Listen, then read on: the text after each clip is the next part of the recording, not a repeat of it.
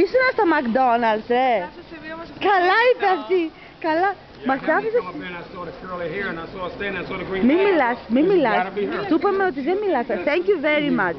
Thank you very much. Του είπαμε ότι δεν μιλάς αγγλικά, ε, γιατί μόνο για παιδιά μπορούν να ψάξουν. Ρε, πήγα εδώ στον κύριο και λέω πως με ψάχνανε τρεις κοπέλες. Πώς δεν πή- πήγαμε; Πάμε γρήγορα και καλά ότι τρέχουμε τώρα, γιατί της είπα ότι θα χάσουμε την πτήση. Μου είπε, ναι. Δεν πειράζει.